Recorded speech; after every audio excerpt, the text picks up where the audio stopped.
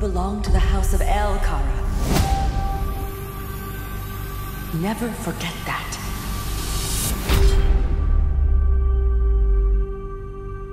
Never give up hope.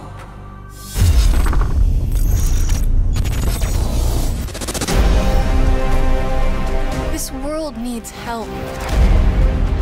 We can give them hope. You expect to best a god?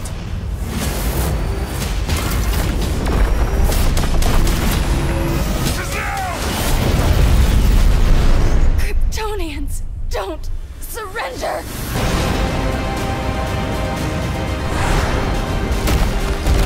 We have to save them from themselves. This symbol should give people hope. You've taught me what my powers can do.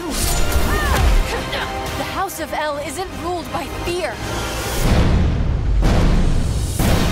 You'll either make the right choice, or I'll make it for you.